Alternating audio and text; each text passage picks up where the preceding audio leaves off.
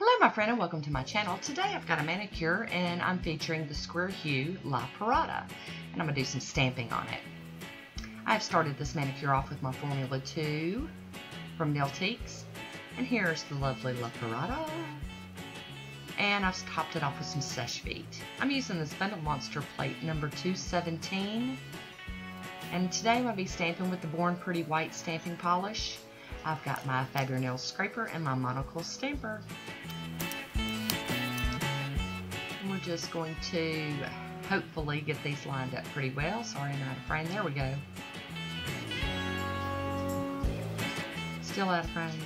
But we're having an issue out of one of my my very first stamp. And I'm going to have to fix that. It's not working. Anybody that has done stamping knows sometimes it's frustrating.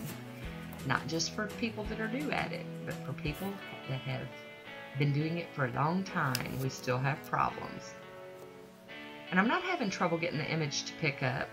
I'm having trouble getting it on my finger. And see, like that one took part of it, but not all of it. So, looks like we're going to have to tape it off and start over. I'm pulling that little image piece off with some tape and I'm going to try this one more time. Third time's a charm, right? I'm sorry you can't see what I'm doing. There we go. Finally. Yay! We can move on. So I should be halfway through the manicure by now, but I'm not. We're going to try this again.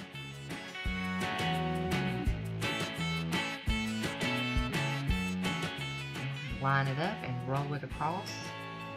Make sure it sticks. There we go. Yay, that one went pretty well.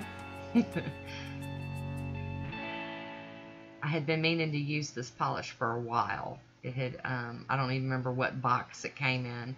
I mean, it was this year, but it was one that I was all gaga over when it showed up, but things got in the way and I didn't get around to using it until today but it's so juicy and orangey and summery. I just felt like I needed to use it today. And I didn't want to cover all of it up, so that's why I'm doing the French tip design. Line this one up. There we go. We got got another one being tricky over here. There we go. It was a good save. All right. And those kind of look like little orange slices to me. I thought that would be kind of a cool design to use. I don't have very much cleanup to do even with the tape, which is really nice, considering I have a little bit of trouble getting the stamping images to work good for me. And here we go. We're going to top this manicure off with Pure Ice Girl on the Run. And I'm going to be very generous with it. And I'm starting kind of going over the tips first and then going up further onto the nail. And of course we've got to cap those ends.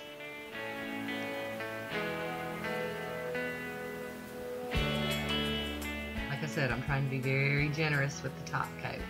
I don't want anything to smear. And I've had trouble out of white polish smearing on me before, so wanted to make sure I didn't ruin this one.